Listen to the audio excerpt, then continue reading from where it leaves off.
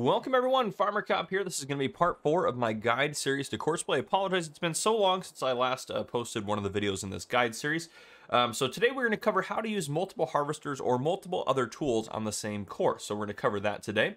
Um, make sure you have watched the rest of my courseplay videos up to this point because they kind of build off of each other. So if you don't have the knowledge from the first three videos, then this may not always make sense. At least watch the first one before you watch this one.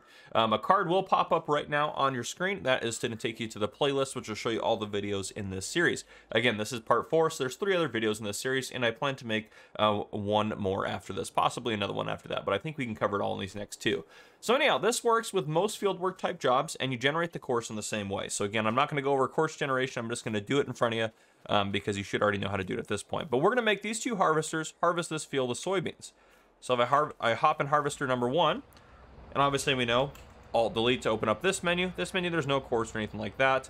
Um, so we're not going to worry about that right now. If I hit this, it's going to take me into this menu to course uh, play fieldwork generation, um, or I could just access it by hitting escape and then coming over to the job menu and then I'm on this, and then I can hit create job down here, and I'm gonna go over to Courseplay field work. Target position, it's pretty close to like where, where it's at there. Field position, make sure I select the field. We're doing field 56.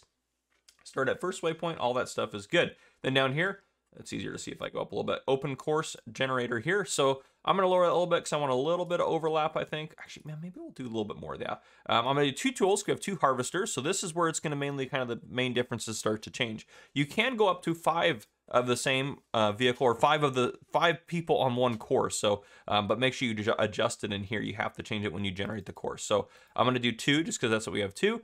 Um, we're going to do one headland around, and then we're going to start work on the headland, smoothing corners, up, down, field center, rows skip. We're not going to skip any rows, rows per land. We're not doing lands. Island bypass mode circle. There's no island, so it doesn't matter anyway. But this is the main thing that's going to change is the two. Now, the two harvesters or two pieces of equipment you're using have to have the same working width for this to work because we have to base their work width the same. So this is the work width that's going to apply to both of these. So now that I have that set up, I'm going to generate the course and boom. Now, if we look out here at the course, you're going to say, well, that doesn't look like that's two harvesters going around.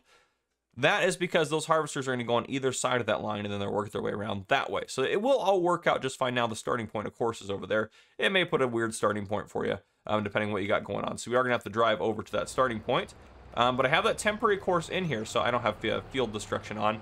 Now, again, I can adjust so I can see all the lines, none of them, or just the front, or the stop and stop and uh, start points here. So let's drive over here to the start point, which should be right there. Stop. Starts right up there. Okay.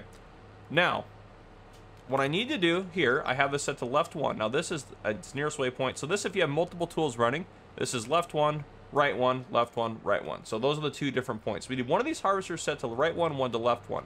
So I'm going to put my left one on the left side of this line here. And then I'm going to go get the other harvester. I'm going to bring him over and I'm going to set him to the right one. Now you see, well, he doesn't have a course loaded up. Well, because I didn't load the course on this harvester. So we're going to have to hop back in that other harvester. And what we need to do is we need to save the course in that other harvester so we can load it into this harvester here, which will allow us to do that. So that is where, um, if you're using multiple tools, you are mandated to save the course. That is another difference you have to look at here. Um, so I'll pull this guy just up over next to this harvester here, so we'll be good to go in a minute. Okay, just going to tab over to him. And then temporary course. So I have the course in here. Let's go over to here. I'm going to do, we'll save it in tutorial two. Um, I'm going to save the course, activate um, two harvesters. That'll work just fine for us. Um, and perfect, it's done. So now you can see the course has a name, two harvesters. He's set to left one. Now if I go over here, hop in this harvester, I'm going to do course. I'm going to go here, two harvesters. I'm going to hit load course, activate, Boom. I'm on two harvesters too. He's on left one though too, so I'm to again change him to right one. Now if I have them all set up like that, this guy, he's at nearest. Let's set him to, there we go, first waypoint, start. He's going to start on the left side of that course, and if I go on this guy, I'm going to set him to first waypoint, right side, and then boom, hit the play button. He's going to start on the right side of that course. So as we watch them go around on the course here, he should start going, theoretically speaking. I don't know why he stopped. He might be waiting for that one to get a little bit ahead. There is a setting where you can adjust how far they are apart from each other, and they must be set about that far apart. So he's waiting for him to get a little bit further ahead. And there we go. Now he is working his way around. So again, he's going on the right side of that line, you can see. And that guy's going on the left side of the line, and they're slowly going to work their way around this field. until it is harvested. And then as simple as that. Now, if you wanted to add more of them in, you can do that just fine. Um, what we're going to do is we're going to go ahead and get this field uh, cleared away here. Now, again, they are missing little bits and pieces, but we went over that kind of in the first video. They're not going to be perfect.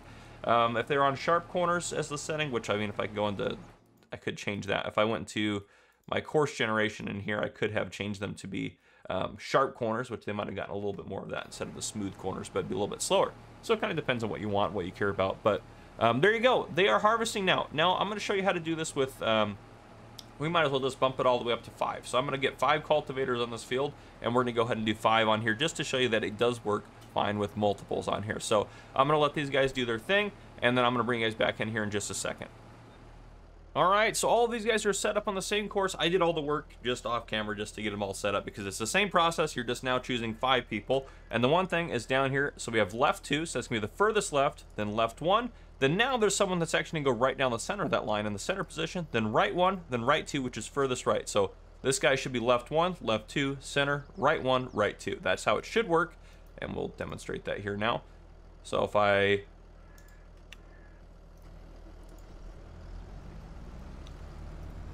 center.